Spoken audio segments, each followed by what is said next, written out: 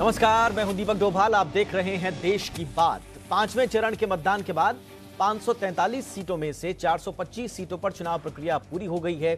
118 सीटों पर जो बची हुई हैं, चुनाव अब उनमें आखिरी दो दौर में निर्णायक वोटिंग के तौर पर होगा। आज की वोटिंग में आम लोगों के साथ ही कई वीआईपी मतदाताओं में भी खासा जोश दिखा। सुबह से ही आम मतदाता मतदान बूथों पर कतार लगा लगाकर बूथों में खड़े नज़र आए। तो वहीं जो बड़े वोटर्स हैं, जो दिग्गज वोटर हैं जिन्हें वीआईपी वोटर्स कहा जाता है, उनके जोश में भी कोई कमी नहीं दिख रही। केंद्रीय गृह मंत्री और लखनऊ सीट से उम्मीदवार बीजेपी के राजनाथ सिंह ने परिवार के साथ विपुलखंड तीन स्थित स्कॉलर होम में बने मतदान केंद्र पर पहुंचकर वोट डाला। तो केंद्रीय मंत्री राज्यवर्धन सिंह राठौर राजस्थान के जयपुर में पत्नी गायत्री राठौर के साथ मतदान करने पहुँचे। राज्यवर्धन जयपुर ग्रामीण सीट से चुनाव मैदान में है। राठौड़ का मुकाबला ओलंपियन और कांग्रेस कैंडिडेट कृष्णा पूनिया से है। तो बीएसपी मुखिया मायावती लखनऊ में वोट डालने पहुँची। मतदान के बाद मायावती ने गठबंधन की जीत का भरोसा भी जताया। वहीं पूर्व केंद्रीय मंत्री यशवंत सिन्हा ने हजारीबाग से अपना वोट डाला। यशवंत सिन्हा के साथ उनकी पत्नी नीलिमा सिन्हा भी, भी थी दिलचस्प बात यह कि हजारीबाग से केंद्रीय मंत्री और यशवंत सिन्हा के बेटे जयंत सिन्हा चुनाव मैदान में हैं। यशवंत सिन्हा के बेटे और केंद्र के मंत्री मोदी सरकार में मंत्री जयंत सिन्हा भी हजारीबाग में ही अपना वोट डालने पहुँचे। वोटिंग के बाद जयंत सिन्हा ने अपनी जीत का भरोसा जताया। कुल मिलाकर आज के दौर में शाम सात बजे तक लगभग साठ फ़ीसदी से ज़्यादा मतदान की खबर आई है। मतदान फ़ीसदी में एक बार फिर पश्चिम बंगाल ने बाजी मारी है, जहाँ चौहत्तर फ़ीसदी से ज़्यादा मतदान हुआ है। छह बजे तक के आंकड़े हैं ये और बाकी चरणों की तरह, लेकिन ये दौर भी पश्चिम बंगाल का हिंसा से अछूता नहीं रहा। पश्चिम बंगाल के बैरकपुर में बीजेपी ने बूथ कैप्चरिंग और हिंसा का आरोप लगाया और कहा कि टीएमसी कार्यकर्ता खुद ही ईवीएम का बटन दबा रहे हैं और यही नहीं, पश्चिम बंगाल के बैरकपुर में मीडिया पर भी एक बार फिर हमला हुआ। जी मीडिया संवाददाता कोमोलिका सेन गुप्ता घायल हुई हैं हमले में। टीएमसी कार्यकर्ताओं पर हमले का आरोप लगा है। वहीं आज के मैदान की सबसे दिलचस्प सीटें रायबरेली और अमेठी में भी लोगों ने बढ़ चढ़कर मतदान किया। दोनों जगह अच्छी खासी तादाद में लोग घरों से निकलकर मतदान करने पहुँचे। लेकिन अमेठी सीट पर बीजेपी उम्मीदवार स्मृति ईरानी ने एक वीडियो जारी कर राहुल गांधी पर वोट और बूथ कैप्चरिंग का आरोप लगाया। इसी बीच खबर आई कि राहुल गांधी का आज का अमेठी का दौरा रद्द हो गया है। हालाँकि इस बीच आरोप प्रत्यारोपों की सियासत भी चलती रही और पूर्व प्रधानमंत्री राजीव गांधी के नाम पर चल रही सियासत आज और तेज हो गई। एक चुनावी रैली में पीएम मोदी ने राहुल गांधी को चुनौती दे दी और कहा कि अगर हिम्मत है तो अगले दो दौर के चुनाव में पिता राजीव गांधी के मान सम्मान के मुद्दे पर लड़कर दिखाए। कुल मिलाकर आज जो वोटिंग हुई है उसके तमाम समीकरण उसका विश्लेषण निकलना शुरू हो चुका है। हम आज देश की बात में तमाम मेहमानों के साथ आ, इस समीकरण पर चर्चा करेंगे और जानने की कोशिश करेंगे कि आज की जो महत्वपूर्ण सीटें हैं रायबरेली अमेठी लखनऊ इन सीटों पर राजनीतिक समीकरण क्या कह रहे हैं और क्या राहुल गांधी के लिए वाकई में अमेठी में मुश्किलें बढ़ने वाली हैं? और यही हाल रायबरेली सीट का भी होगा इसका भी विश्लेषण करेंगे कि क्या सोनिया गांधी के लिए रायबरेली सीट हमेशा की तरह आसान जीत की ओर ले जाएगी ये सीट या इस बार मुकाबला दिलचस्प है और टफ होने जा रहा है सोनिया गांधी के लिए। इन तमाम मुद्दों पर आज हम बात करेंगे लेकिन देश की जनता को अपने शो के साथ जोड़ने के लिए हमने एक कड़क सवाल देश की जनता के लिए रखा है।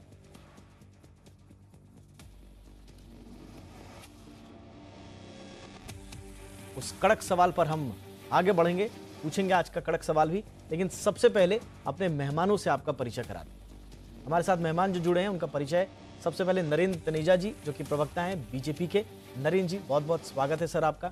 हमारे साथ हैं शुभ्रांश राय, जो कि राजनीतिक विश्लेषक हैं और टीवी डिबेट्स में कांग्रेस का पक्ष रखते हैं। शुभ्रांश, आपका भी बहुत बहुत स्वागत है। हमारे साथ हैं समाजवादी पार्टी के प्रवक्ता राजकुमार भाटी। राजकुमार भाटी जी, आपका भी बहुत बहुत स्वागत है। हमारे साथ हैं अजय कुमार, जो कि एलजेपी के प्रवक्ता हैं। अजय कुमार जी, आपका भी बहुत बहुत स्वागत है। हमारे साथ हैं नईम अब्बास, जो कि बीएसपी के नेता हैं। नईम अब्बास, आपका भी बहुत बहुत स्वागत है। हमारे साथ हैं निनाद सेठ, जो कि वरिष्ठ पत्रकार और चुनाव विश्लेषक हैं। निनाद, आपका भी बहुत बहुत स्वागत है। और हमारे साथ हैं अनिल आनंद, जो कि वरिष्ठ पत्रकार हैं। देश के जाने माने पत्रकार हैं, राजनीतिक विषयों पर अपनी राय रखते हैं, विश्लेषण करते हैं। अनिल आनंद जी, आपका भी बहुत बहुत स्वागत है। चलिए तो हम जिस कड़क सवाल की बात कर रहे थे, वो कड़क सवाल की बारी अब आ चुकी है। कड़क सवाल हमने अपने देश की जनता के लिए, अपने व्यूअर्स के लिए रखा है। इस प्रोग्राम के साथ आपका भी जुड़ाव हो, इसलिए आप भी इस चुनाव नतीजों पर अपनी नज़र तो रखे हुए हैं, लेकिन हमारे कड़क सवाल का जवाब भी आपको देना है। आपकी राय क्या आई, हम जानना बड़ी दिलचस्पी से चाहेंगे। अमेठी, रायबरेली में क्या कांग्रेस के लिए सीट निकालना आसान होगा? ये सवाल बड़ा आसान है, लेकिन है बड़ा कड़क, क्योंकि हर किसी की नज़र इस सवाल पर है। हमारी जनता क्या सोचती है, हमें आपको बताना है। फेसबुक अगर यूज़ करते हैं at the rate G business online पर जाएँ, और वहाँ पर आपको हमारा ये पोल दिखाई देगा, उस पर यस या नो हाँ या ना में जवाब देना है आपको। ट्विटर अगर यूज़ करते हैं तो at the rate G business पर जाकर आप अपनी राय हाँ या ना में दे सकते हैं। सीधा सा सवाल है, अमेठी रायबरेली में क्या कांग्रेस के लिए सीट निकालना आसान होगा? चलिए और इसी कड़क सवाल के साथ शुरू करते हैं। और निनाद और अनिल आनंद जी, आप दोनों के पास में चलूँगा, आप निष्पक्ष विश्लेषक हैं चुनाव के। निनाद, आपसे मैं शुरू करूँगा। आप चुनाव विश्लेषण करते हैं। आपको समझ में आया होगा, बातें बहुत हो रही हैं। इन दोनों सीटों पर नज़रें बहुत हैं। लेकिन अगर अमेठी से शुरुआत की जाए, रायबरेली पे हम बाद में बात करेंगे। लेकिन अमेठी से शुरुआत की जाए अगर, राहुल गांधी के लिए अमेठीकरण क्या वाकई में मुश्किल रहा है? या ज़मीन पर जो आपने समीकरण देखे हैं, बयानों को देखा है, आरोप प्रत्यारोप देखे हैं, और जनता का मूड जो भी आपको समझ में आया है अब तक, वो क्या कहता है? राहुल गांधी के लिए अमेठी में वही प्यार वही जो पर्सनल अटैचमेंट गांधी परिवार के साथ अमेठी की जनता का रहा है वही रिपीट होगा इस बार या इस बार जनता मुद्दों पर और दूसरे समीकरणों पर भी वोट डाल रही है या वोट डाला है अमेठी? देखिए अमेठी में एक बदलाव की लहर लग रही है मुझे। मुझे ये नहीं पता कि राहुल गांधी जीतेंगे कि नहीं जीतेंगे पर उनके पसीने तो छूट ही गए हैं। हम्म। उनका वायनाड जाना ये दर्शाता है कि वो खुद भी अमेठी से इतने कॉन्फिडेंट नहीं है पहली बात। दूसरी बात, मेरे को लगता है कि भारत में जागरूकता बड़ी है वोटर्स में। पिछले कुछ इलेक्शन अगर आप देखें तो एक जमाना था जब पॉकेट बरो जिसे अंग्रेज़ी में कहते हुआ करते थे कि भाई ये तो आपकी की सीट है, यहाँ तो कोई बदलाव नहीं होने वाला। पर अब ये माई बाप का जमाना नहीं है। अब जमाना है, अगर आप अमेठी गए हैं तो अमेठी में इतनी डेवलपमेंट नहीं है, एक पिछड़ा सी पिछड़ी सी जगह है, कई सालों तक चलता था क्योंकि किसी पंचायत की चीफ को नौकरी दिला दी, कहीं रेलवेज में नौकरी दिला दी, कुछ थोड़ा बहुत कर दिया तो काम चल जाता था। अब भारत में एक एक बदलाव आ रहा है, लोग चाहते हैं कि काम हो, सिर्फ़ नाम से ना चले। और यही डर मेरे को लगता है कि राहुल जी को वायनाड ले गया। और ऊपर से हमने एक और बात देखनी चाहिए कि स्मृति ईरानी ने पिछले पाँच साल से इस कॉन्स्टिट्यूएंसी को नर्चर किया है। उन्होंने आउटसाइडर आके घर में घुस के नर्चर करना लोगों से संपर्क बना के रखना पॉलिटिक्स में ये ज़रूरी होता है कि you are seal to be doing something कि आप कुछ कर रहे हैं?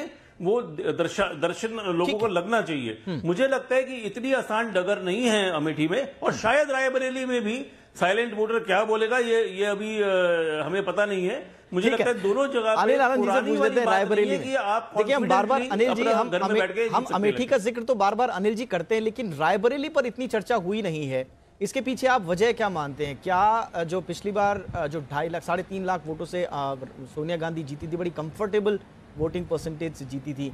क्या उनका जो अटैचमेंट है रायबरेली के लोगों का वो भी इंटैक्ट है? क्योंकि मोदी लहर में भी सोनिया गांधी इतने बड़े मार्जिन से जीती थी शायद वो रिपीट होगा इस बार ये मानकर लोग रायबरेली के बारे में ज़्यादा बात नहीं करते हैं अमेठी पर फोकस ज़्यादा है लोगों का। क्या आपको लगता है कि सोनिया गांधी के लिए सीट निकालना इतना आसान होगा रायबरेली में या वहाँ पर ग्राउंड रियलिटी सबको मालूम है कि क्या होना है? देखिए दो अंतर हैं इस वक्त की अमेठी और रायबरेली में। अंतर यह है कि क्यों आपने कहा कि क्यों फोकस है अमेठी के ऊपर सबसे ज़्यादा? फोकस का एक कारण यह है कि राहुल गांधी कांग्रेस के प्रेसिडेंट बने नए नए प्रेसिडेंट हैं तो अटैक उन पे है, ज़ाहिर है। सोनिया गांधी जी कहीं से ये इंप्रेशन दे रही है कि उनकी इनिंग्स जो है वो खत्म हो रही है या डोर उन्होंने राहुल गांधी जी के हाथ में दे दी तो इसलिए शायद कहीं साइकोलॉजिकली लगता है प्रेशर कम है। दूसरा, अमेठी में ज़्यादा फोकस होने का रीजन एक ये भी है कि राहुल गांधी के सामने एटलीस्ट भारतीय जनता पार्टी ने चैलेंज तो पेश किया। उन्होंने स्मृति ईरानी जी को खड़ा करके, स्मृति ईरानी जी बड़ी डायनेमिक पॉलिटिशियन है। हालाँकि वो उनके बड़बोलापन के उनको फ़ायदा देता है कि नहीं देता, वो बड़बोलापन हम उन्होंने चांदी चौक में भी देखा। तो वहाँ भी उनको शिकस्त का सामना करना पड़ा। लेकिन वो एक अच्छा इलेक्शन लड़ती हैं हेडलाइंस बहुत अच्छी बनाती हैं। तो मुझे लगता है चूँकि उनका प्रतिद्वंदी वहाँ पे राहुल गांधी का स्ट्रांग है तो फोकस ज़ाहिर है उसके ऊपर। और फिर एक एक कवायद भी की जाती है कि उस फोकस को उस कॉन्टेस्ट को फोकस में लाने की जिसमें भारतीय जनता पार्टी की मशीनरी बहुत सक्षम और बहुत निपुण भी है। हम्म। जहाँ तक रायबरेली के चांसेस का आपने बताया मुझे नहीं लगता कि रायबरेली में कोई ज़्यादा कॉन्टेस्ट है। और मुझे यह भी बहुत हैरानगी है कि क्यों भारतीय जनता पार्टी ने एक अच्छा पुख्ता कैंडिडेट क्यों सोनिया गांधी के खिलाफ खड़ा नहीं किया? उन्होंने कांग्रेस से एक लेके बंदा एक जो छोड़ के गया, उसको खड़ा किया। शायद वो सोचते होंगे कि घर का बेदी लंका ढाए वाली कहावत यहाँ काम आए या कोई विजन हो, इतने ज़बरदस्त के वो सारे रास खोल दे और सारे वोट ले जाएँ। इसलिए मुझे लगता है ये ये कवायद ठीक ठीक मुझे नहीं लग रही है। और मुझे लगता है कि इससे अच्छा कोई ज़्यादा सीरियस कैंडिडेट कोई एक प्रोफ़ाइल वाला कैंडिडेट खड़ा होता तो तब हम ये बहस कर सकते थे कि भाई आप फोकस जो है रायबरेली पे भी है या होना चाहिए? नरेंद्र जी नरेंद्र जी आपके कैंडिडेट्स आपकी चुनावी रणनीति आपके चुनावी फोकस को बहुत ज़्यादा क्लियर कर देते हैं। आपके इंटेंशंस को क्लियर करते हैं। अमेठी में आपके क्या इंटेंशंस हैं ये बिल्कुल क्लियर है। और सिर्फ़ अमेठी की बात बात नहीं है। ये पूरे देश को आप संदेश देना चाहते हैं। लेकिन रायबरेली में जैसा अनिल जी कह रहे हैं कि उतना मज़बूत कैंडिडेट उतार नहीं पाए या उतनी मज़बूत आप रणनीति नहीं बना पाए जितनी अमेठी में आपने की। इसके लिए इसके पीछे कोई खास वजह थी क्या? देखिए अमेठी में अगर आप जा कर के देखें वहाँ पे बिल्कुल कतई कोई विका, विकास विकास हुआ नहीं है। वहाँ के अंदर लोगों के अंदर बहुत ज़बरदस्त नाराज़गी है। परिवार को लेकर के सोनिया जी को लेकर के कुल जो कुछ देखते हैं कि आसपास कितना कुछ हो गया। है ना? लेकिन जो और प्रदेशों में कितना हो गया लब सब आजकल टेलीविज़न और स्मार्टफ़ोन का ज़माना है, उनको सब पता है। काफ़ी लोगों को इसको लेकर के नाराज़गी है। अब ये इसके लिए कि आप कोई बहुत ही हाई प्रोफ़ाइल कैंडिडेट को फ़ील्ड करें तो या फिर किसको ऐसे को लेके आते हैं जो वहीं का पहचान, जिसको ज़मीन को अच्छी तरह जानता और उसको जाके वह शिकस्त दे दे सके। हमारी रणनीति दूसरी रही है। जहाँ जैसी रणनीति की आवश्यकता होती है, वैसी नीति बनाई जाती है। तमाम जगह हम लोग चुनाव ऐसे लड़ रहे हैं जहाँ आपने देखा बिल्कुल नया नाम हमने पेश किया है। और वो नया नाम जो है वो आप देख रहे हैं भोपाल में भी देख रहे हैं और बीस एग्ज़ाम्पल में आपको और दे सकता हूँ। तो हमारे यहाँ उसके हिसाब से चला जाता है। अमेठी में तो आप देख ही रहे हैं। अमेठी में हालत यह है कि पिछली बार आपने देखा था राहुल जी का जो मार्जिन था वो तो घट के एक लाख सात हज़ार हो गया था। और इस बार उनकी क्या हालत है वो कहाँ भाग गए? केरल क्यों गए हैं वो? आपको क्या लगता है केरला कोई वो भ्रमण करने के लिए गए? नहीं गए। उनको पता है कि अमेठी जो है उनके हाथ से जा रहा है। अच्छा जिस हिसाब से कैंपेनिंग हुई और आज जिस हिसाब से आपने देखा, जो खबरें भी आप आप भी बता रहे हैं और चैनल्स पे भी आ रही है मीडिया में भी आ रही हैं, कि कितने डेस्परेट होकर के उन लोगों ने जो है वहाँ पे वो सब सारे कदम उठाने की कोशिश करी है, जिससे कि जो नहीं उनको करना चाहिए, जो कोड ऑफ़ कंडक्ट तो छोड़िए एथिक्स के भी खिलाफ होता है, इसलिए कि किसी तरह सीट को बचाया जाए। लेकिन वो राहुल गांधी जी, अमेठी हारेंगे।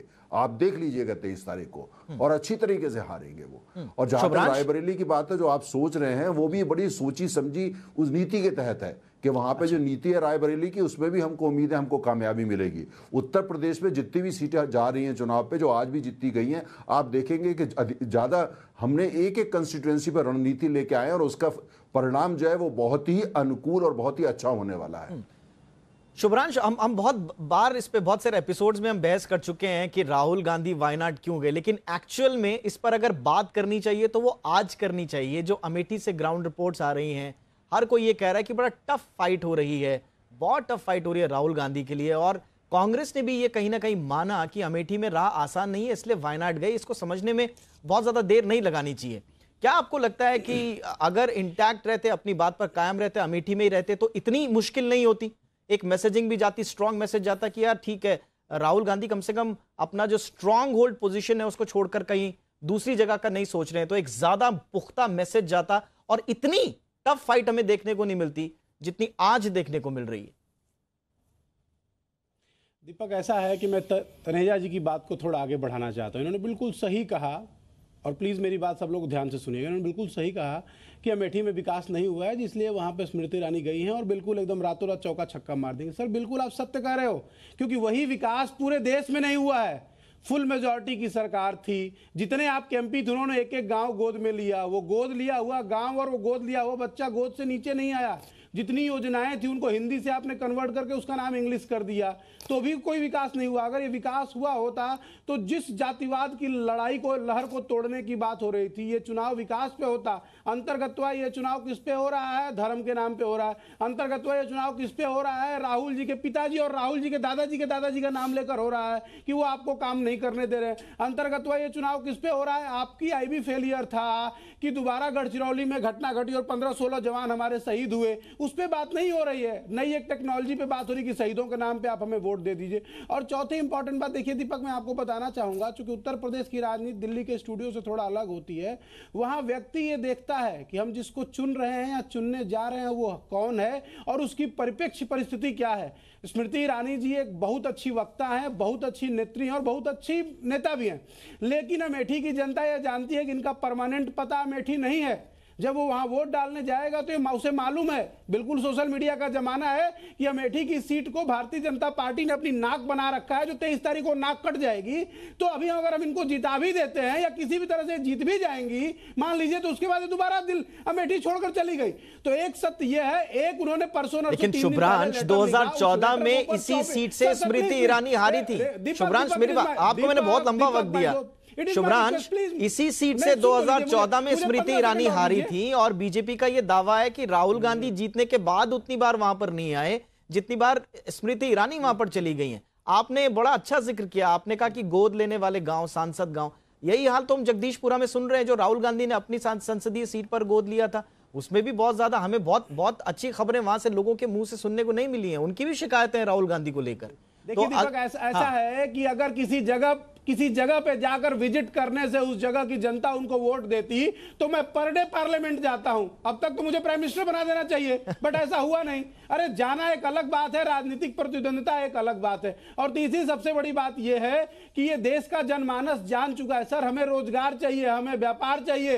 नहीं आपने कल भी जय आपने कहा ना आपने कहा ना कि स्मृति ईरानी चली जाएँगी। यही आरोप यही आरोप राहुल गांधी पर लगे थे कि 2014 के बाद से वो दिखाई नहीं दे नरेंद्र जी आप कुछ रिएक्ट करना चाह रहे हैं। ठीक है आप आप आपने आरोप लगाया। नरेंद्र तनेजा जी आप कुछ रिएक्ट करना चाहते हैं। लेकिन देखिए एक सत्य ये भी है कि जिस परिवार थोड़ा समय दीजिए। को मैंने पैदा किया या जिस परिवार ने मुझे पैदा किया तो मेरी ज़िम्मेदारी रोजी रोटी की उनके साथ भी बनती है जो पिछले चार सालों से हम जॉबलेस बैठे हैं। ठीक है आपने तो बोल दिया। ये है बाकी देखिए जनता जनार्दन तेईस तारीख को क्या फैसला सुनाती है। ऑल राइट नरेंद्र तनेजा जी आपका रिएक्शन देखिए मैंने कांग्रेस समर्थक जो आपके पैनलिस्ट हैं उनको ध्यान से सुना। उनमें भी रिक्वेस्ट रहेगी वो इंटरप्ट ना करें ध्यान से सुने बात को। देखिए प्रश्न इस बात का है हमारा जो। चुनाव हम लड़ रहे हैं भारतीय जनता पार्टी हम सिर्फ़ विकास पे लड़ रहे हैं और हम लड़ रहे हैं जो हमने काम करा है। आप ज़मीन पे देखिए जाकर के हम काम हमारा जो मैसेज लोगों के साथ क्या है वो सड़सठ फ़ीसदी लोगों को जिनके बैंक अकाउंट नहीं खोलने दिए गए थे, उनके हाथ में आज कार्ड है, प्लास्टिक कार्ड है एम्पावर्ड फील करते हैं। वो हमारी तरफ़ से चुनाव लड़ रहे हैं। वो नब्बे फ़ीसदी लोग जिन्होंने कभी, जिनके टॉयलेट नहीं थे, आज टॉयलेट है, वो हमारी तरफ़ से चुनाव लड़ रहे हैं। जिस गाँव में बिजली नहीं थी, वहाँ बिजली पहुँची है, वो हमारी तरफ़ से चुनाव लड़ रहे हैं। और आपने ये देखा, जिनके पास एल जिन्होंने कभी सिलेंडर की शक्ल नहीं देखी थी, वो आपको लग सकता है ये छोटी छोटी बातें हैं। कांग्रेसियों को लगेगा, ये क्या हो गया? लेकिन आम आदमी को ये नहीं दिया गया। ये यही हमारे प्रतिनिधि हैं। ये जो हमने काम किया हमारा काम ही प्रतिनिधि है। लेकिन एक मेरा सवाल है कुछ बोलने की ज़रूरत नरेंद्र सर एक मेरा सवाल। हमें कोई चीज़ एक सेकंड नहीं नहीं दीपक जी थोड़ा बोलने दिया करिए। आप, आप दस सेकंड नहीं बोलने देते हैं। इंट्रोडक्टरी रिमार्क भी दस सेकंड नहीं नहीं सर आप बोलिए बोलिए को इतना समय दिया तो मुझसे क्या परेशानी है? थोड़ा बोलने दीजिए। है ना इंट्रोडक्टरी रिमार्क तो एक मिनट देना चाहिए। हर एक को देना चाहिए अच्छा दूसरी हमारा जो है काम है और जहाँ तक रही बात अमेठी की चालीस साल से अमेठी वो परिवार रिप्रेजेंट कर रहा है। चालीस साल से। जाता है वहाँ पे, चुनाव बन के एमपी और वो तो उनका एड्रेस भी तो दिल्ली है ना। वो भी तो दिल्ली रहते हैं, चालीस साल से देख रहे हैं ना मेठी के लोग। क्या हुआ वहाँ पे? कोई विकास नहीं हुआ। इन स्टूडियो में बहस करने से कुछ नहीं होगा। जो वहाँ रहते हैं, जो भुगतते हैं, है ना? बात खाली इसलिए कि स्मृति अच्छा बोलती है तो उनको कोई वोट दे देगा। ऐसे वोट नहीं मिलते हैं। वो ये देखेंगे उम्मीद किससे है? भाई चालीस साल से एक परिवार ने उनको ठगा। अब वो मौका देना चाहते हैं। अच्छा जहाँ तक ये मेरे मित्र ने ये बात कही कि हमने कोई काम पाँच साल में नहीं किया। हो सकता है आपके आपका विचार हो और आप लोकतांत्रिक देश है हम आपके विचार का सम्मान करते हैं पर पूरी तरह असहमत है। हम ही नहीं ठीक है देश का अधिकांश लोग आपसे लेकिन मेरा इस बीच एक सवाल ये था। नरेंद्र जी मेरा एक सवाल ये था। नरेंद्र जी मेरा एक सवाल ये था। आप आप दे दीजिएगा आप कंटिन्यू कीजिए अपनी बात को। बस मेरा एक सवाल ये था आपने बहुत केंद्रीय योजनाएँ गिनाई। बहुत अच्छी बात है वाकई में इन योजनाओं के बलबूते अगर ग्राउंड पे कोई डिफरेंस क्रिएट होता है, ज़ाहिर सी बात है इसका फ़ायदा बीजेपी को मिलेगा। लेकिन जो बात अभी शुभ्रांश ने भी उठाई है कि आप फिर एक मुद्दा उछाल कर ले आए हैं राहुल गांधी के पिताजी का स्वर्गीय राजीव गांधी को बीच में लाया गया है। तो क्या हम ये माने कि बीजेपी आखिर राजीव गांधी के मुद्दे पर अब चुनाव लड़ना चाहती है? क्योंकि प्रधानमंत्री ने आज सीधे सीधे चैलेंज कर दिया है कि बाकी बचे चरणों में आप राजीव गांधी के नाम पर, अपने पिता के नाम पर उनके मान सम्मान के लिए चुनाव लड़के दिखाइए। तो हम ये माने कि बीजेपी जो जो मुद्दे आपने गिनाए हैं उनकी जगह शिफ्ट होकर राजीव गांधी के मुद्दे पर चुनाव लड़ना चाहती है? नहीं सुनिए सुनिए। राजीव गांधी जी की शहादत हुई। उसके लिए उनको नमन पूरा देश करता है। हम भी करते हैं प्रधानमंत्री भी करते हैं। लेकिन जो बोफोर्स का मसला हुआ और उन पर करप्शन के चार्जेज उन्हीं के वित्त मंत्री ने लगाए उसको तो नहीं भूल सकते आप। कैसे देश भूल जाएगा? क्या इंदिरा जी का देहांत हो गया तो जो उन्होंने किया, अमृतसर या सिखों का कत्लेआम हुआ, उसको भूल दिया जाएगा? सिर्फ़ इसलिए कि भाई वो अब दिवंगत हो गई। ऐसे नहीं होता। आप छह महीने से जिस रैली में जाते और आज भी उन्होंने हरियाणा में यही करा, जाते कहते प्रधानमंत्री चोर है। हर जगह आप लोगों से बुलवाते प्रधानमंत्री चोर है। आपके पिताजी के बारे में एक बात कह दी गई तो आपको कितनी दिक्कत हुई? ये एहसास दिलाने के लिए कि गैर जिम्मेदाराना जो लोग बात करते हैं बिना सबूत के बात करते हैं सुप्रीम कोर्ट को नहीं मानते वो किसी भी संस्था को नहीं मानते। उनका ये मानना है, उनका परिवार अगर देश में शासन नहीं करेगा तो वो किसी को रहने नहीं देंगे। ये उनका मैसेज ये होता है सिर्फ़ परिवार राज करेगा परिवार के अलावा कोई आएगा उसको चोर बोलेंगे। छह महीने से जाके बोल रहे हैं। सुप्रीम कोर्ट को जाके उन्होंने गड़बड़ किया। तो अब अब ये एकदम बिखर गए मेरे पिताजी का। अरे आप तो प्रधानमंत्री आप तो उनको ही रोज बोल रहे हैं। तो इसलिए जिससे कि उनको शायद उनकी जो अंतरात्मा है, उनका दिमाग है थोड़ा सा समझ में आए, लेकिन उसके बावजूद उनको समझ में नहीं आया। आज उन्होंने यही बात फिर हरियाणा में दोहराई है तो ठीक है, अगर यही ज़ुबान में संभलते हैं, ज़ुबान बोली जाएगी। जहाँ तक बात रही उनकी शहादत की राजीव गांधी, हम उनको नमन करते हैं, पूरा देश उनको नमन करता है। शुभ्रांश, फटाफट आपका रिएक्शन मुझे आगे बढ़ना है, बाकी पैनलिस्ट भी हैं। नंबर वन थे शुभ्रांश, थे। बिल्कुल दस सेकंड में। हाँ। आगे भी बढ़ना है मुझे। तनेजा जी ने बिल्कुल सही एक मिनट तनेजा जी ने बिल्कुल सही कहा कि हम विकास को लेकर लड़ने गए हैं ज़मीन के ऊपर लेकिन ये विकास उनका वही है कि उत्तर प्रदेश में जाकर उन्होंने शराब का ज़िक्र किया। ये विकास उनका वही है कि आतंकवाद के सॉरी टेररिज्म के केस में पाई गई दोषी साध्वी प्रज्ञा ठाकुर लड़ रही है। इनका विकास वही है कि इनको राम और रहीम के सारे चुनाव लड़ना पड़ रहा इनका विकास वही है कि जिस जातीय लाइन को उन्होंने क्रॉस करके आगे बढ़े थे फिर दोबारा से अपने आप को उन्होंने कास्ट कैडर के लड़ाई पे ले आए। तो रही बात ठीक है सर देश जानता है आपने बिल्कुल सत्य कहा कि स्टूडियो बहुत टफ होता है स्टूडियो से आगे की ज़िंदगी बड़ी टफ है। लेकिन एक इंपॉर्टेंट बात है कि अगर आपने जिस फोर्स का ज़िक्र किया उसके साथ रफेल का भी एक इतिहास जुड़ा होगा और और आज नहीं तो कल ये इतिहास के स्वर्ण अक्षरों में लिखा जाएगा कि राजनीति किस स्तर पर गिर गई कि कुछ लोग जिन्होंने इस जहाँ को आज से 20 साल पहले 30 साल पहले या 50 50 साल पहले छोड़ा था उनको हम दोबारा ला लाकर एक घटिया राजनीति की तरह ज़िंदा करने की ऑल राइट सर रहे ऑल राइट ठीक है ठीक है इस पर आएँगे। राजकुमार भाटी मैं आपके पास आना चाहूँगा। राजकुमार भाटी क्या आपको नहीं लगता है कि अगर गठबंधन में अगर कांग्रेस को आप लोगों ने जगह दी होती हालाँकि आप हमेशा ये कहते रहे कि सोच समझकर और पूरी सोची समझी रणनीति के तहत महागठबंधन बना था सपा बसपा और आरएलडी का। लेकिन जो आज हम राहुल गांधी के लिए बड़ी चुनौती देख रहे हैं भले ही आप लोगों का उनका उनको उनके लिए परोक्ष रूप से समर्थन है लेकिन अगर ये ये गठबंधन अगर एक एक मज़बूत मंच पर एक साझा तरीके से अगर सबके सामने होता तो स्थिति कुछ और होती आपके वोटों का बंटवारा नहीं होता और इस तरह की सिचुएशन हमें देखने को नहीं मिलती या आपको लगता है कि आपने जो किया वो ठीक ही हुआ? नहीं तो आपका सवाल का औचित्य तो यहीं खत्म हो जाता है कि अमेठी और रायबरेली में तो हमने उन्हें समर्थन दिया है वहाँ तो हम आमने सामने नहीं लड़ रहे हैं। आपने यही तो कहा कि राहुल गांधी को चुनौती मिल रही है तो वो नहीं मिलती। तो और मैं ये समझता हूँ कि अगर कोई व्यक्ति ये मानता है इस गलतफहमी में है कि अमेठी रायबरेली में कांग्रेस प्रत्याशियों के सामने कोई चुनौती है तो वो मैं समझता हूँ उसे ज़मीन की सच्चाई पता नहीं है। अमेठी और रायबरेली में बहुत अच्छी वोटों से दोनों प्रत्याशी कांग्रेस के जीत रहे हैं। सोनिया जी भी और राहुल जी भी। कहीं कोई चुनौती नहीं है ये हवाबाजी है केवल। और आज जो स्मृति ईरानी के चेहरे पे हवाइयाँ उड़ी हुई थी और वो आरोप लगा रही थी कि बूथ कैप्चरिंग हो गई है और हमारी वोट नहीं डालने दिए जा रहे हैं वही ज़ाहिर करता है कि वो चुनाव हार रही हैं। लेकिन अभी जो तनेजा जी कह रहे थे मुझे बड़ा आश्चर्य हुआ कि भारतीय जनता पार्टी के लोग दो दोगली बातें एक साथ कैसे कर लेते हैं। राजीव गांधी की शहादत का सम्मान करते हैं लेकिन राजीव गांधी को गाली देते हैं। हेमंत करकरे की शहादत का सम्मान करते हैं लेकिन हेमंत करकरे को शराब देते हैं उसकी मौत पर खुशियाँ मनाते हैं। फौजियों को सम्मान देते हैं लेकिन एक फौजी जब चुनाव लड़ना चाहता है वाराणसी से तेज बहादुर तो उसका पर्चा कैंसिल करा दिया जाता है गलत तरीके से। ये तमाम दोगली बातें भारतीय जनता पार्टी के लोग ही कर सकते हैं। कह रहे हैं हम विकास के मुद्दे पर चुनाव लड़ रहे हैं। आप माननीय मोदी जी का माननीय अमित शाह का यूपी के मुख्यमंत्री योगी आदित्यनाथ का सारे भाषण उठा के सुन लीजिए। कहीं विकास का ज़िक्र नहीं करते हैं कहीं एजेंडा का ज़िक्र नहीं करते हैं कहीं अपने घोषणा पत्र का ज़िक्र नहीं करते हैं कहीं अपनी उपलब्धियों को नहीं बताते हैं। केवल गाली देना केवल गाली देना ये तेईस तारीख को आपस में मेरा एक सवाल है राजकुमार जी। एक दूसरे को भ्रष्ट कहेंगे चोरों का सरदार कहेंगे। मेरा एक सवाल है राजकुमार जी आपने बीजेपी पर दोगुलेपन का आरोप लगाया आपके आरोप अपनी जगह होंगे। लेकिन मेरा सवाल ये था अमेठी और रायबरेली को लेकर जिस बात जिस पॉइंट को मैं रखना चाह रहा था वो ये कि एक तरफ़ अखिलेश यादव ये कहते हैं कि कांग्रेस और बीजेपी मिले हुए हैं कांग्रेस ने अगर केंद्रीय जो एजेंसीज हैं उनका दुरुपयोग जो- करना की शुरुआत की, उसी को बीजेपी आगे बढ़ा रही है। राहुल गांधी जी कहते हैं कि मायावती और अखिलेश जी का कंट्रोल तो बीजेपी के हाथ में है। फिर मायावती इस तरह के बयान देती है। ये जो बयान है अच्छा अमेठी की एक रायबरेली की एक सीट पर जो है, वो मायावती सॉरी अखिलेश यादव, प्रियंका गांधी जिंदाबाद के नारे लगते हैं।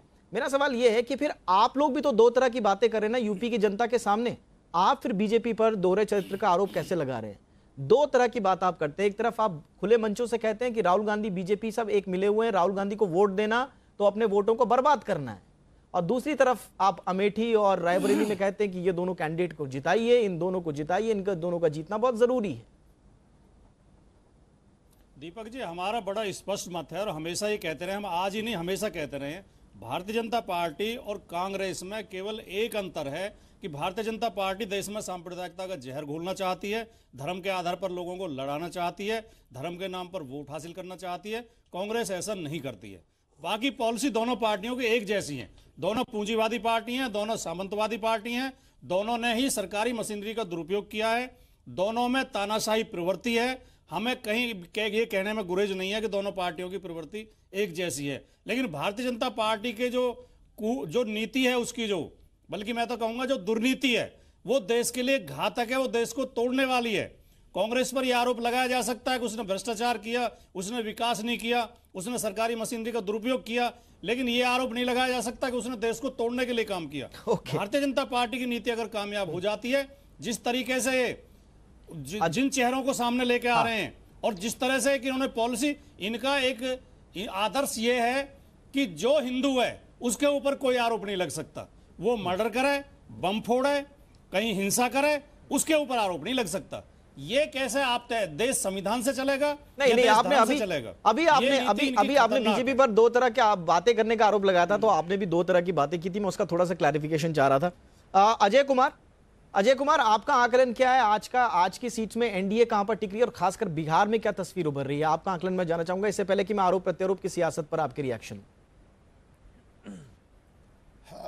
बिहार में 40 में से 38 और जहाँ तक आज की बात है तो देखिए हमारे दोनों मेहमान किस तरह से घबराए हुए हैं। ऐसे लगता है कि ये दिन की सूरज की रोशनी में भी सच्चाई को न देखना चाहते हैं। न स्वीकार करना चाहते हैं। चलिए अमित शाह जी के ही भाषण को आज ले लेते हैं जो उन्होंने शिवहर में दिया। वो पूरा भाषण उठा के देख लीजिए किस चीज़ पे वो भाषण था। उन्होंने कहा डबल डब्बे की सरकार है एक तरफ़ केंद्र में मोदी जी और दूसरी तरफ़ नीतीश जी। तो ये विकास की बात नहीं है तो क्या है? बनारस में मोदी जी के भाषण को देख लीजिए। इतने सारे शौचालय एलपीजी में उसकी तो बात ही नहीं करता।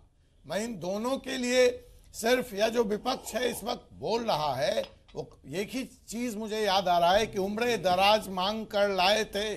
चार दिन दो आरोपों में कट गए मेरे यार। दो आरोपों में कट गए और दो तेईस मई के इंतज़ार में। तो इंतज़ार की घड़ियाँ समाप्त होने वाली है। जनता अपना मत मोदी जी को शानदार तरीके से, पिछले बार से बेहतर तरीके से, वोटिंग परसेंटेज के भी टर्म्स में अब ये लड़ाई सीट की नहीं है। हम ये लड़ाई प्रतिशत की लड़ रहे हैं ताकि इनका मुँह उस बात पे भी बंद हो जाए लेकिन सर वोट परसेंटेज शुरू से लेकर अब तक रहा है ज़्यादा है। जो ट्रेंड रहा है एक भी फ़ेज़ में हमने पिछली बार के बनर्जी जी एक 2014 के मुकाबले एक भी फ़ेज़ में में हमने ज़्यादा वोटिंग परसेंटेज नहीं देखा। अजय जी अजय जी पिछली बार के मुकाबले 2014 के मुकाबले एक भी फ़ेज़ में ऐसा नहीं हुआ कि वोटिंग परसेंटेज ज़्यादा हुआ हो। तो आप क्या आप ये मान रहे हैं? और दूसरा कि मोदी वेव का उतना बा, इस बार ज़िक्र नहीं किया जा रहा है जितनी मोदी लहर का ज़िक्र 2014 में किया जाता था इस बार नहीं किया जा रहा है। और दूसरा जो क्षेत्रीय समीकरण उभरे हैं जो क्षेत्रीय दल मिले हैं यूपी में बिहार में झारखंड में आ, वहाँ पर यह कहा जा रहा है कि अब वो स्थिति नहीं रही है बीजेपी और एनडीए के लिए जो 2014 में थी। चलिए आपने असल में एक ही सवाल सांस में दीपक जी आपने कई सवाल पूछ दिए। अगर मैं तोड़ तोड़ के उनका जवाब दूँ मुझे थोड़ा वक्त दीजिएगा। सबसे पहले अगर मैं प्रतिशत की बात करूँ प्रतिशत भाजपा और एनडीए की कोशिश ये है कि जो भी प्रतिशत है उसका लार्जर शेयर लायंस शेयर के लिए हमारी फाइट है सीटों के लिए नहीं फाइट हो रही है अब हमारी। जो दूसरा बात आपने कहा कि रीजनल फोर्सेस देखिए ये रीजनल फोर्सेज बिहार में किस तरह का है? जहाँ आज तक माननीय राहुल गांधी जी ने तेजस्वी यादव के साथ नेतृत्व के सवाल पर फैसला नहीं हो पाया। वहाँ चुनाव तेजस्वी यादव के नेतृत्व में लड़ा जा रहा है और आज तक एक ज्वाइंट रैली नहीं हुई। सीटों का लास्ट लास्ट मोमेंट तक बंटवारा नहीं हुआ। अब आ जाइए उत्तर प्रदेश में। सात परसेंट वोट लेकर के कांग्रेस आई थी 2014 में। अगर हम और 2009 में जाएँ तो ये वोटिंग परसेंट और ज़्यादा था और उसको हमारे समाजवादी समाजवादी पार्टी के लोग और बहुजन समाज पार्टी के लोग कहते हैं हमें आठ परसेंट वोट की ज़रूरत ही नहीं है। कांग्रेस का कोई रिलेवेंस ही नहीं है। और दोगली बातों का नमूना ये देखिए कि आठ सीटों पे ये उनके खिलाफ कैंडिडेट नहीं देते और उनके दो सीटों पे ये कैंडिडेट नहीं देते। तो ये नूड़ा कुश्ती देश की जनता दीपक जी देख रही है। आरक्षण के सवाल पर स्वर्णों को आरक्षण के सवाल पर कांग्रेस राष्ट्रीय स्तर पे समर्थन करती है और बिहार में विरोध करती है। Right, मध्य right, प्रदेश में बिहारियों और उत्तर प्रदेश के लोगों को भगाने का काम करती है और उत्तर प्रदेश में समाजवादी पार्टी के दीपक, साथ दीपक, दीपक, गल बहिया करती है। तो ये जो चाल और चरित्र है नया नहीं है। देश की जनता मुझे मुझे नहीं अब्बास के पास जाने दीजिए बहुत लगभग आधा घंटा हो गया है उन- वो अपनी बारी की प्रतीक्षा कर रहे हैं उनका भी ओपनिंग दिमाग ले लेते हैं। नहीं अब्बास।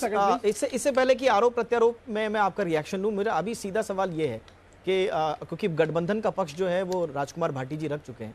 मेरा आपसे ये सवाल है जो मायावती जी का जो बयान आया है अंबेडकर नगर से चुनाव दोबारा लड़ने का और जिन राजनीतिक परिस्थितियों की वो बात कर रही हैं क्या अब बीएसपी खुलकर ये कह रही है कि महागठबंधन की तरफ़ से प्रधानमंत्री पद की उम्मीदवार मायावती होंगी? दीपक जी पहली बात तो मैं आपका बहुत ज़्यादा शुक्रिया अदा करता हूँ कि आपने ये महसूस भी किया कि मुझे 30 मिनट हो गई बैठे बैठे देखिए ये तो 23 मई को पता लगेगा कि क्या होने जा रहा है। अ, दीपक जी मेरी बात पहुँच रही है वहाँ तक? हाँ बिल्कुल बोलिए नहीं। हेलो? जी जी, आपकी आवाज़ हमें आ रही है। तो। दीपक जी पहली बात तो मैं बता देता हूँ।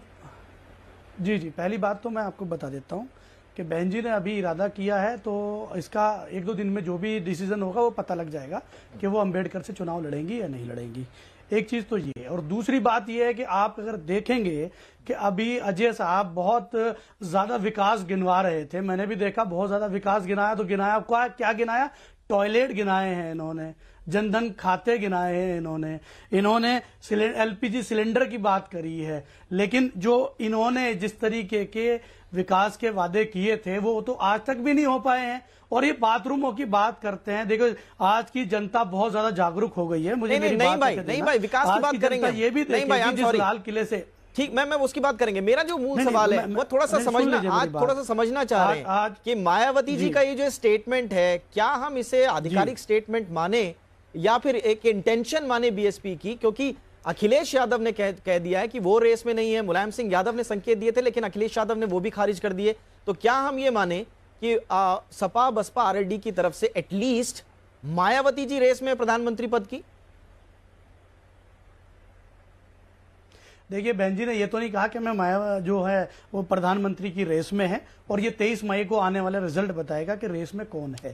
पहली बात तो यह है कि आज देश में बहुत ज़्यादा जागरूकता फैल गई है और वोटर अपने आप बहुत समझदार हो गया। वो ये ज़रूर देखेगा कि जिस जिस गवर्नमेंट ने वादे किए थे, वो गवर्नमेंट ने वादे पूरे किए या नहीं किए?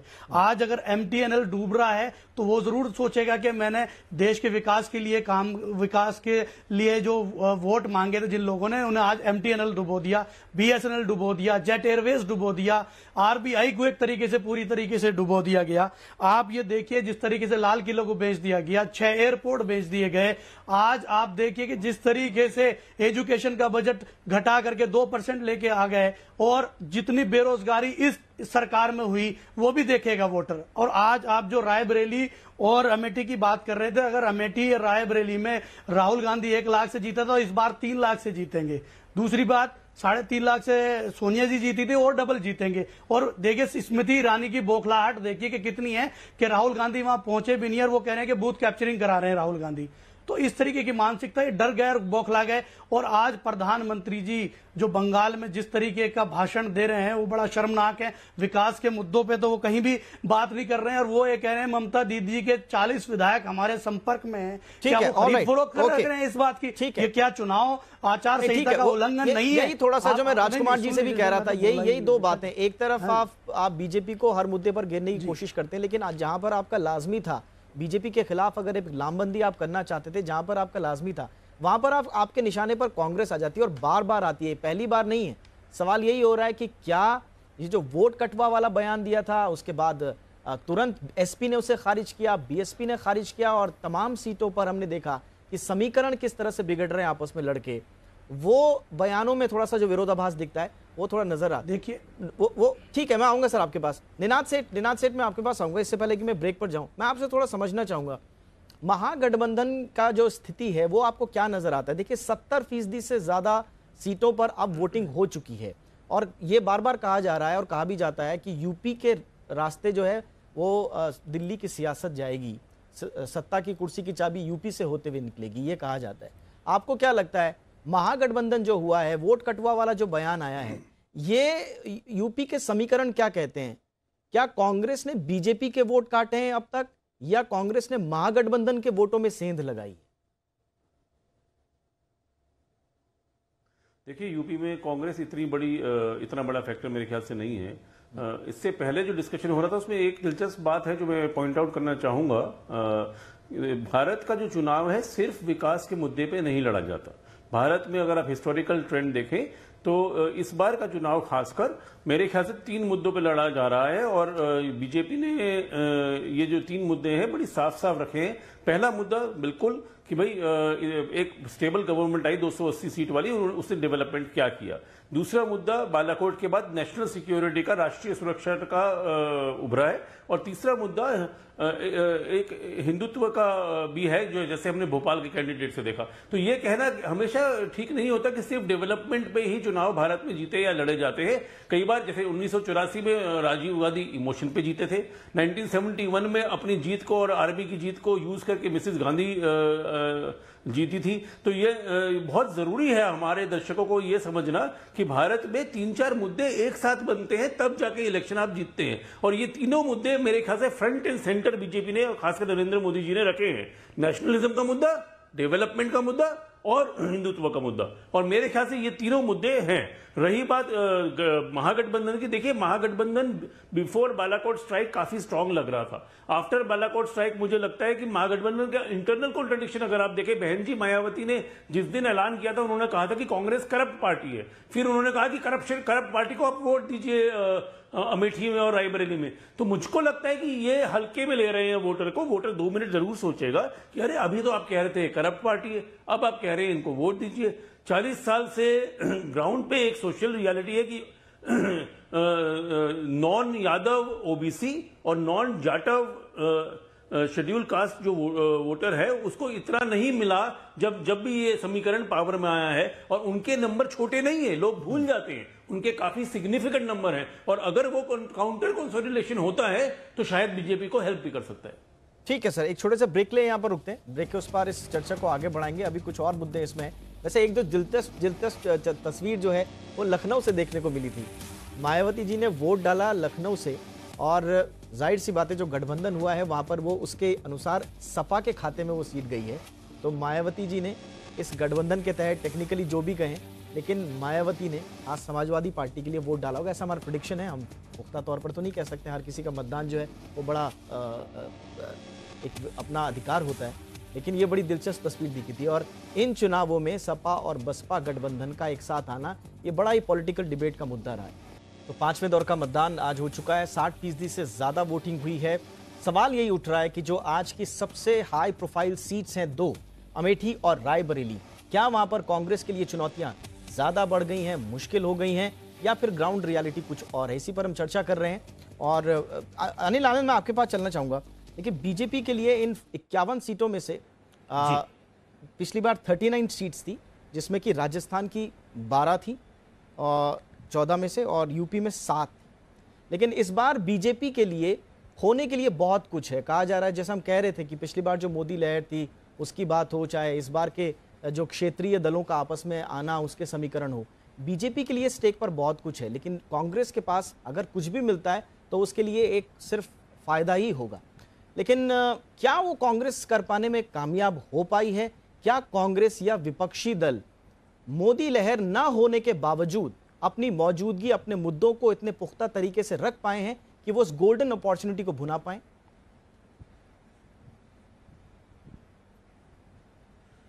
देखिए पहली तो एक बात यह है कि कोई देशव्यापी मोदी लहर नहीं है इस वक्त। ये बहुत सारे विश्लेषक भी मानते हैं और जो हम भी देख रहे हैं सुन रहे हैं वो, वो, वो, उसका ऐसा लगता नहीं है। 2014 से परिस्थितियाँ भिन्न हैं। अब मैं दो तीन मैं बातें सुन रहा था बहुत आश्चर्य आश्चर्यजनक भी थी रोचक भी थी। तो उनका मैं समावेश करके फिर मैं आगे आगे आपकी बात को आगे बढ़ाऊँगा और उसका जवाब भी दूँगा। एक तो भारतीय जनता पार्टी के जो प्रवक्ता हैं उन्होंने कहा कि रायबरेली और, और अमेठी भी सोनिया गांधी और राहुल गांधी हार सकते हैं या हार जाएँगे। अ, हमारे मित्र अजय जी ने कहा लोक जनशक्ति पार्टी के जो प्रवक्ता हैं उन्होंने कहा कि 48 में से 38 सीटें बीजेपी प्लस उनके अलायंस एनडीए वो जीत रहे हैं बिहार में। और निनाद जो मेरे साथी पत्रकार मित्र हैं उन्होंने कुछ ऐसा इंगित किया कि गठबंधन जो उत्तर प्रदेश में है वो बिखरा हुआ है कहीं का नहीं है तो कुछ भी हो सकता है और उनके खिलाफ भी जा सकता है। मुझे लगता है इन तीन चार बातों का अगर समावेश किया जाए तो हमारी आज की डिबेट की ज़रूरत भी नहीं है। इसका मतलब है क्लियर कट इंडिकेशन है कि भारतीय जनता पार्टी को साढ़े तीन सौ से चार सौ सीटें आनी चाहिए। जो हो सकता है चुनावों में कुछ भी हो सकता है राजनीति में कुछ भी हो सकता है लेकिन ऐसी स्थितियाँ अगर तेईस तारीख को ही फाइनली पता चलेगा क्या होगा क्या नहीं होगा। मेरा ये मानना है कि गठबंधन जो है वो गठबंधन एक अच्छा मुकाबला दे रहा है भारतीय जनता पार्टी को उत्तर प्रदेश के अंदर। अब वो ऐसा ही गठबंधन एक एक एक बिहार में भी है तो मुकाबला तो हो रहा है। अब लूज एंड्स हमेशा जहाँ अलायंस होगा वहाँ लूज एंड्स होंगे। एनडीए के अलायंस में भी लूज एंड वाजपेयी जी के वक्त में भी रहे। अब भी कहीं ना कहीं सुगबगाहट होती है। डर के मारे शायद ज़्यादा नहीं होती होगी वो एक अलग बात है। तो इसलिए मेरा मानना है कि बड़ा इंटरेस्टिंग और रोचक इलेक्शन हो रहा है। तेईस तारीख तक हमको वेट करना चाहिए। अ, बाकी अ, कितना फ़ायदा नुकसान किसको कहाँ पे होगा? इसमें इस, इसमें दो तीन चीज़ें हमें ध्यान में रखनी पड़ेगी। एक तो ये मान के चलना होगा कि आज भी भारतीय जनता पार्टी और एनडीए अलायंस की तरफ़ से एक ही बहुत बड़ा फैक्टर जो उनके उन, उनको जिसपे वो अपने आप को आँख भी रहे हैं और जिससे चिपके भी हुए वो वो मोदी जी का नाम है। जो भी होना है मोदी जी के नाम पे होना है। दूसरी बात यह कि जहाँ के डेवलपमेंट की बात की गई निनाद जी ने तीन पैरामीटर्स गिनाए कि उस पे भारतीय जनता पार्टी की कैंपेन हो रही है। अ, लेकिन बदकिस्मती से जो डेवलपमेंट का प्लान था वो तीसरे या चौथे नंबर पे है बिल्कुल भी। ज़्यादा से ज़्यादा development has been over development has been overshadowed by और नेशनलिस्टिक फर्वर जो उन्होंने क्रिएट किया है। Development fervour has been over by the security paradigm जो बात कर रहे हैं उसकी कैंपेन के अंदर। आपको लगता है कि अगर डेवलपमेंट का मुद्दा होता अगर डेवलपमेंट के मुद्दे को फोकस करती बीजेपी तो शायद ज़्यादा उनको फ़ायदा होता आप ये कहना चाह रहे हैं? देखिए फ़ायदा नुकसान की बात नहीं है। 2014 में जब मोदी जी ने कैंपेन की थी तो डेवलपमेंट को उन्होंने कहा था एक नया भारत बनाने के लिए। एक गरीब का भला होगा सबका भला होगा। तो कहा क्यों आप, आप डेवलपमेंट के मुद्दे को नहीं छोड़ सकते हैं? आप भले ही फ्लैंक्स अपने कवर करें आप दो तीन मुद्दे और बना लें जैसे निनाद जी ने बिल्कुल सही कहा। दो तीन चार मुद्दों का मिश्रण होता है तभी जीता जाता है। लेकिन आपकी प्रायोरिटी क्या है? वो 2014 से चलते चलते 16 19 तक प्रायोरिटीज आपकी बदल गई। मेरा ये कहने का मतलब नरेंद्र जी? नरेंद्र जी, जो आरोप लग रहे हैं कि आप लोगों ने डेवलपमेंट का मुद्दा छोड़ दिया है, क्या ये आरोप वाकई में सही है? और जो हमें मुद्दे सुनाई दे रहे हैं आपके नेताओं से, खुद प्रधानमंत्री जो कि नेतृत्व कर रहे हैं आपके चुनाव कैंपेन का वाकई में ये लगता है कि उनकी प्रायोरिटी में डेवलपमेंट मुद्दा इतना ज़्यादा इंपॉर्टेंट नहीं है, जितना कि राष्ट्रवाद है, गांधी परिवार है और बाकी चीज़ें नहीं, देखिए, हमारा बहुत बड़ा देश है। लोकतांत्रिक है और बहुत बड़ा है और कॉम्प्लेक्स है। मल्टीपल नैरेटिव्स होते हैं। अगर आपको ये लगता है कि एक पॉलिटिकल पार्टी अपने हिसाब से जो नैरेटिव ढालना चाहे वो ढल जाएगा और देश उसी को मानेगा, ऐसा नहीं होता। प्रयास करते हैं। हम अपना प्रयास कर रहे हैं, कांग्रेस अपना प्रयास कर रही है, उत्तर प्रदेश में समाजवादी पार्टी अपना प्रयास कर रही है उड़ीसा के अंदर जो है पटनायक जी अपना कर रहे हैं और बंगाल में दीदी अपना कर रही हैं। अपने अपने नैरेटिव लाते हैं, लेकिन अल्टीमेटली जो है डिपेंड करता है कि लोग किस नैरेटिव को अडॉप्ट करते हैं और किस नैरेटिव को पुश करते हैं। अगर आप देखें देश के अंदर बालाकोट के बाद से तमाम लोगों के अंदर जो है नेशनल सिक्योरिटी बहुत बड़ा मुद्दा है उनके लिए। अब आप जाइए, हरियाणा में जाइए, राजस्थान जाइए, गुजरात जाइए, पंजाब जाइए, वहाँ तो बहुत ही बड़ा मुद्दा है, जो बॉर्डर स्टेट है, वह बहुत ज़्यादा है। तो ये डिपेंड करता है। आप सदर्न इंडिया में जाइए, उनके थोड़े से आउटलुक अलग है। तो ये बहुत सारी चीज़ और दूसरी मेरा ये मानना है मैं खुद अर्थशास्त्री हूँ ट्रेनिंग से कि जो विकास का जो काम हमने पाँच साल किया है वो काम बोल रहा है हमारा। हमारा हर जगह काम बोल रहा है। उसको आप आके चैनल्स पे हमारे जो अन्य पार्टी के लोग हैं उसका चाहे मज़ाक उड़ा सकते हैं उसको जो करना है उसे कोई फ़र्क नहीं पड़ता। क्योंकि जिनका जिनका खाता खुल गया वो जानता है उसके साथ क्या हुआ है। जिसके घर बिजली पहुँच गई पता है बिजली उसके लिए उसने उसका जीवन में क्या परिवर्तन आया है? एलपीजी से क्या परिवर्तन आया है? उसको हमें जाकर के वो हमारी तरफ़ से बोल रहे हैं। अब ये अच्छा सिलेंडर दूसरी बहुत बात- नहीं, आऊँगा आपके पास, नहीं, आऊँगा। आज की डेट में सिलेंडर अच्छा, रिफिल नहीं हो रहे हैं। नहीं नहीं आप आपकी आपकी बारी आएगी मैं आऊँगा मुद्दे थोड़ा ही अच्छा, हैं, मैं मैं ऐसी बहस करता नहीं ठीक नहीं नहीं मैं आऊँगा आपके पास। बीच में ना बोलिए नहीं नहीं सुन लीजिए आप मुझे बड़ी बुद्ध- बड़ी देर तो के बाद मौका है मुझे बोलने का। सारी बहस नहीं नहीं जी मैं आऊँगा आपके पास। समय नहीं नहीं मैं आऊँगा आपके पास। मैं आऊँगा आपके पास। सुन लेते हैं पहले। नहीं तो नरेंद्र जी को सुन तो लीजिए। दीजिए ना। अब हाँ नरेंद्र जी प्लीज़ थोड़ा नहीं, नहीं, संक्षेप में आप तो दीजिए। संक्षेप में आप अपनी बात को रखें तो मेरा देखिए हमारे मैं संक्षेपी में कर रहा हूँ जितना संक्षेप में और लोग कर रहे हैं उतना ही मैं कर रहा हूँ है ना? देखिए अब भाटी साहब ने एक बात कही भाटी साहब ने कहा कि भारतीय जनता पार्टी तो दोगली है और साथ में उन्होंने ये भी कह दिया कांग्रेस पार्टी तो इतनी खराब है उसके बारे में तमाम पूरा उसका करेक्टर एनालिसिस कर दिया तो फिर क्यों उनके साथ लगे हुए हैं आप? तो दोगला कौन हुआ? या तो दोगले का अर्थ हमको नहीं पता। देखिए कोई भी बात कहें सवाल इस बात का हर राजनीतिक दल जो इलेक्शन इसलिए लड़ रहा है उसने जीतना है।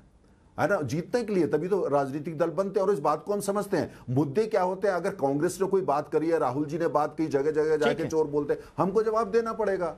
तो तमाम ऐसे अब वो बोले आपका तो नैरेटिव ही हो गया। अरे आप ये देखिए ना पाँच महीने से क्या बात कर रहे हैं? उससे भी बढ़िया तो हम काम क्या कर रहे हैं? ठीक है सर, शुभ्रांश के पास चलते हैं। बिल्कुल। ठीक है, शुभ्रांश- सिक्योरिटी शुभ्रांश जिसकी बात वो देश को नरेंद्र तनेजा जी कर रहे हैं। हो चुका है हाँ। और जहाँ तक काम की बात है हमारा काम हमारा काम चप्पे चप्पे पर बोल रहा है वही हमारा संदेश है। हमारा काम वही सबसे बड़ी चीज़ है लेकिन नेशनल सिक्योरिटी आम हिंदुस्तानी के लिए एक बड़ा नैरेटिव उन्होंने बनाया है और हम उनका सम्मान करते हैं और हम भी उनके साथ आ, चलने को आपके पास आपके पास एक मौका था कि आप एक काउंटर नैरेटिव तैयार करते अगर राष्ट्रीय सुरक्षा ही इतना बड़ा मुद्दा बन गया है और हम सब लोग इस बात को मान रहे हैं कि प्रधानमंत्री नरेंद्र मोदी ने अपने कैंपेनिंग से राष्ट्रीय सुरक्षा को एक बहुत बड़ा मुद्दा बना दिया है और वो मुद्दा उनके लिए काम कर भी रहा है। आपके पास एक बहुत बड़ा मुद्दा था कि आप अपने एटलीस्ट घोषणा पत्र में उसका काउंटर नैरेटिव तैयार करते।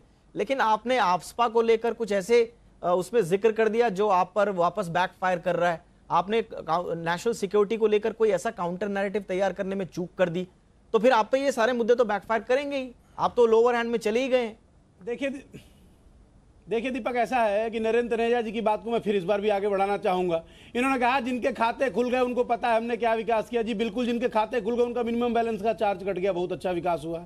ये बिल्कुल आप सत्य कह रहे हैं कि जिन जगहों पर लाइट आई है, जी नहीं, जिन गाँव में अंधेरा था, उनका क्या हुआ? बिल्कुल ये सत्य साहब कि दिल्ली जैसे शहर में छह वोल्ट का आप एलईडी यूज़ करते हो और बिल आता है दो हज़ार और चार हज़ार रुपए। बिल्कुल बहुत अच्छा वाला डेवलपमेंट हुआ। है तीसरी इंपॉर्टेंट बात आपने जो ज़िक्र किया, जी, पुलवामा के बाद पूरा देश एक हो गया, राष्ट्रीय सुरक्षा पहला उद्देश्य है, जी, राजस्थान में जाइए बॉर्डर इलाके में। बिल्कुल आपने सत्य कहा साहब कि राष्ट्रीय सुरक्षा ऐसा मुद्दा है जिसमें इस देश का जनमानस उसके साथ खड़ा होता है। लेकिन मुड़ के लोग एक बार और सवाल करते हैं कि पिछले पाँच सालों में छह हज़ार से ज़्यादा जवान और पैरामिलिट्री के लोग आपने मार दिए। उसके बाद आपकी इंटेलिजेंस सर्विसेज़ कहाँ थी? आपकी आँखों के सामने गढ़चिरौली की घटना घट गई। आपके नेता राजनीति करते रहे और भाषण देते रहे, तब आपकी राष्ट्रीय सुरक्षा कहाँ चली गई थी? ये इंटेलिजेंस और आईबी की जो आपके पास दिया गया, जिसका इनपुट आप आगे पोषण करते हैं, वो उस समय कहाँ था? और पांचवी इंपॉर्टेंट बात ये जो बार बार ज़िक्र कर रहे हैं देखिए साहब अगर विकास आपका होता तो आप चौड़े होकर कहते मैंने विकास किया है All right. लेकिन चूँकि विकास आप कर नहीं पाए इसलिए आप अपने आप को घूम फिरा कर राष्ट्रीय सुरक्षा के कवच के अंदर लाना चाहते हैं क्योंकि सवाल ये है कि आपका- आप- सर्वोपरि है अगर राष्ट्र है सर, तो आपका- आपका काउंटर- आपका काउंटर नैरेटिव क्या है? क्योंकि आपके पास सवाल ये कि आपके मुद्दे है। हैं आपके मुद्दे क्या है? आप सिर्फ़ सर मेरे सिर्फ़ सिर्फ़ गवर्नमेंट का फेलियर हैं, दिखाकर आप चुनाव नहीं जीत सकते नहीं है। मेरे मुद्दे ये हैं कि 10 करोड़ नौकरी देने का आपने वादा किया था फेल है। मेरे मुद्दे ये हैं कि आपने छोटे व्यापारियों को मार के ज़ीरो कर दिया अपना कॉम्प्लिकेटेड जीएसटी डाल के। मेरे मुद्दे ये है कि बैंकिंग को आपने मर्जर करके बहुत सारे लोगों को जॉबलेस कर दिया। मेरे मुद्दे ये है कि छोटे छोटे किसानों का आपने वो उनके पैसों पे आपने चार्ज काटा मिनिमम बैलेंस का और बड़े बड़े है लोगों को सपोर्ट किया। आपको लगता है मुद्दे हैं गिना रहे हैं और ये पब्लिक डोमेन में है। ये ये मुद्दे ये आरोप जो है मोदी गवर्नमेंट पे ये मुद्दे और जो जो कांग्रेस के आरोप हैं ये पब्लिक डोमेन में है। लेकिन क्या ये मुद्दे? आपका जो सवाल था arm force special power act को लेकर हाँ। तो सर हमने उसको बंद करने की बात नहीं करी। हमने कहा रिव्यू करने की रिव्यू करने का अधिकार हर किसी को है। वो कानून लाया गया था कांग्रेस पार्टी के द्वारा कांग्रेस पार्टी उसका रिव्यू करेगी। मैं यही तो कह रहा हूँ। क्या ये क्या ये राजनीतिक समझदारी है कि जिस देश में राष्ट्रीय सुरक्षा पर इतनी बड़ी बहस हो रही हो किया तो उसमें आप आर्म फोर्सेस है। स्पेशल पावर एक्ट को रिव्यू करने की बात कह रहे हैं मैं ये बोल रहा हूँ। क्या राजनीतिक समझदारी है? अच्छा निनाद मैं समझना चाहूँगा अ, जो मुद्दे गिना रहे हैं इसमें कोई दो राय नहीं है कि कांग्रेस इन्हीं मुद्दों की राजनीति करती रही है लेकिन वो क्या वो मुद्दे वर्ड ऑफ़ माउथ बन पाए हैं वो लोगों की ज़ुबान तक चले आए हैं क्या वो ग्राउंड लेवल पर कई मुद्दों के रूप में स्टैंड करते हैं क्या? भले ही उनके आरोपों में कितना भी दम हो वो अपनी जगह सही हो सकते हैं देखिए, लेकिन लेकिन वर्ड ऑफ़ माउथ नहीं बना पाई विपक्ष। बहुत कम राज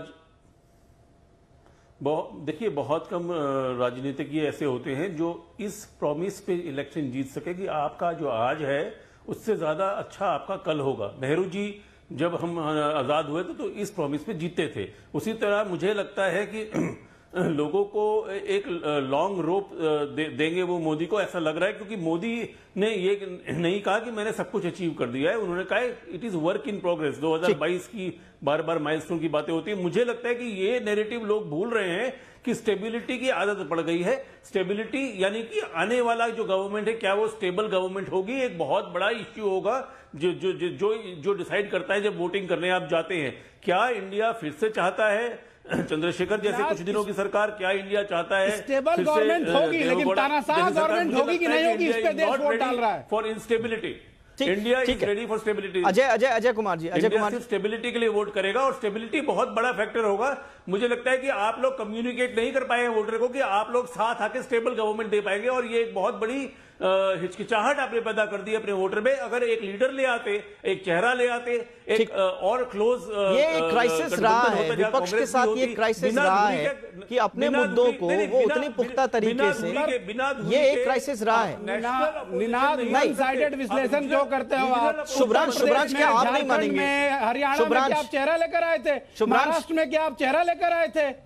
हाँ। शुभ्रांश क्या आप आप आप आप एक राजनीतिक विश्लेषक छोड़ दीजिए अभी कांग्रेस का सपोर्ट। नहीं चलेगा अभी कांग्रेस का सपोर्ट एक तरफ़ रखिए लेकिन एक चुनाव विश्लेषक होने के नाते क्या आप इस बात को नहीं मानेंगे कि जो मुद्दे आप कह रहे हैं जो राहुल गांधी भी कहते हैं या जो कांग्रेस के और जो दूसरे विपक्ष के नेता कहते हैं वो उतने पुख्ता तरीके से लोगों को समझ में नहीं आ पा रहे हैं। कम से कम हमें जो आज की जो मीडिया में देखने पर और लोगों से बात करने पर जो पता चलता है। नहीं दीपक ऐसा है ये ये हो है ये ये एक्सप्लेनेशन परसेप्शन और ओपिनियन आपका स्टूडियो में है। देश का जनमानस देख रहा है ही क्योंकि एक आदमी की बौखलाहट है प्राइम मिनिस्टर की बौखलाहट। ऑन स्क्रीन कई बार राजकुमार जी, है। राजकुमार है, है आपको पीछे है कहता तो हूँ। शायद भारत राजकुमार की जय राजकुमार जी को सुन लेते और जय रहेगा। लेकिन जिस परिवार ने मुझे पैदा किया और जिस परिवार को मैंने पैदा किया है शाम को उसको रोजी रोटी देने की ज़िम्मेदारी मेरी है तो सबसे पहले मैं अपने घर के दाल रोटी के विषय में भी सोचूँगा। नहीं, पर राहुल गांधी दे पाएँगे कि नहीं के दे पाएँगे, लोगों को भरोसा नहीं है राहुल गांधी दे पाएँगे। अच्छी है। लोगों को भरोसा नहीं है है Rajkumar ji, all right all right अभी अभी मेरे पास रिएक्शन लेने के लिए तीन लोग और हैं। राहुल गांधी के नेतृत्व में अभी आपके नेता और मायावती और बाकी जो नेता है विपक्ष के मैं उनकी बात नहीं कर रहा हूँ। मैं राहुल गांधी की बात कर रहा हूँ क्योंकि वो एक फेस है। अभी भी आप ठीक है अलग अलग जगह पे अलग अलग समीकरणों के साथ चुनाव लड़ रहे हैं लेकिन देश को जो समझ में आता है विपक्ष का एक फेस वो राहुल गांधी है। क्या राहुल गांधी आप, आपके जो विपक्ष के जो नैरेटिव्स होने चाहिए थे उनको पुख्ता तरीके से जनता के सामने रखने में फेल हुए हैं इसलिए क्राइसिस की सिचुएशन है? बहुत बेहतर ये टक्कर हो सकती थी। देखिए मैं अपनी पार्टी के बारे में कह सकता हूँ कि हमारे क्या मुद्दे हैं हम किन मुद्दों पर चुनाव लड़ रहे हैं। दूसरी पार्टी कांग्रेस के पा, पार्टी के बारे में कांग्रेस के लोग कहेंगे। लेकिन जहाँ तक अभी आपने थोड़ी देर पहले जो मुद्दा उठा था कि विकास के ऊपर चुनाव क्यों नहीं लड़ा जा रहा विकास को क्यों नहीं बताया जा रहा? अब तनेजा जी जो गिनवाते हैं वो दो तीन बातें गिनवा देते हैं कि खाते खुल गए जनधन के गैस के सिलेंडर मिल गए। अगर विकास इन्होंने किया होता तो ये भी बताते कि कितने कितने शहर स्मार्ट सिटी बन गए। सौ शहर बनाने थे उनमें से कितने बन गए? बुलेट ट्रेन कहाँ कहाँ चल गई? कौन सी अस्पताल इनके द्वारा बनाई हुई है जिसमें इलाज चल रहा है मरीजों का? कौन सी यूनिवर्सिटी इनके द्वारा बनाई गई है जिसमें क्लास चल रही है?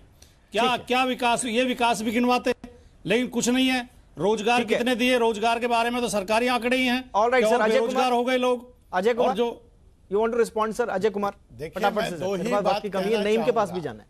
कि ये राहुल गांधी जी कोर्ट में कह चुके हैं कि वो राजनीतिक आवेश में राफेल पे चोड़ कह गए। तो कहीं जनता ये सवाल पूछ रही है कि अगर ये गलती से चुनाव जीत गए तो बहत्तर हज़ार करोड़ भी ये कह के तो वापस नहीं ले लेंगे कि वो भी राजनीतिक जुमला था, वो भी ये आवेश में कह गए। और जहाँ तक ये विपक्ष के साथी हैं मैं इनको यही सलाह देना चाहूँगा नफरत बेहिसाब न फैलाओ मेरे दोस्तों कहीं दिल मिल न जाए।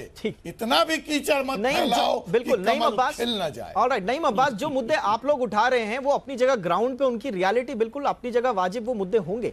लेकिन सवाल ये है कि बीजेपी उन मुद्दों से आगे बढ़ चुकी है। बीजेपी ने आपको उन मुद्दों के साथ बहुत पीछे छोड़ दिया है।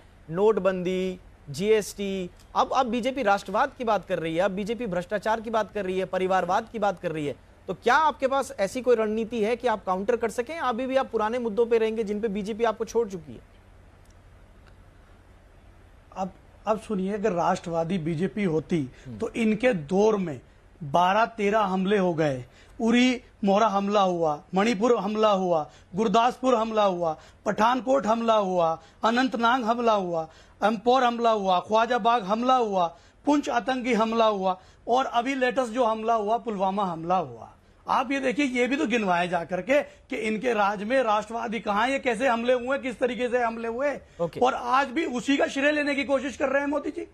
कि हमारे 20-21 जवान मर गए और 40 जवान पहले मर गए। आप भी आज इनका श्रेय लेने की बात कर रहे हैं मोदी जी। इसके नाम पे वोट मांग रहे हैं। ये राष्ट्र ये राष्ट्रवादी नहीं हो सकते। आप ये राष्ट्रवादी अगर होते ठीक है सर। तो ये सारे right, हमले कि आप कह रहे रोक सकते थे आप कह रहे हैं कि आप आप भी। आप आप किसी भी कह रहे हैं जगह आपके पास अभी मुद्दे राष्ट्रवादी नहीं है। आप यानी कि कह रहे हैं कि राष्ट्रवाद राष्ट्रवाद के मुद्दे के ऑल राइट उसका काउंटर करने के लिए भी आपके पास देखिए, हैं। राष्ट्रवादी- आप आप दोनों तरफ़ की जो बातें हैं उनका उनका मीडिया दे रही है डिसीज़न जनता को ही करना है। फ़िलहाल एक कड़क सवाल का जवाब जो हमने पूछा था कड़क सवाल उसका जवाब देने का वक्त आ चुका है। हमने अपनी व्यूअर्स से पूछा था अमेठी रायबरेली में क्या कांग्रेस के लिए सीट निकालना आसान होगा? और जो राय जनता की है, वही हमारे पैनलिस्ट की भी है लगभग लगभग, कि अमेठी रायबरेली में कांग्रेस के लिए सीट निकालना आसान नहीं होगा। चौहत्तर फ़ीसदी लोग ऐसा मानते हैं और 26 फ़ीसदी लोगों का मानना है कि आसान होगा, कोई ज़्यादा मुश्किल नहीं होगी। ये हमारे व्यूअर्स की राय है और फटाफट से देख लेते हैं डायलॉग ऑफ़ द डे और मैन ऑफ़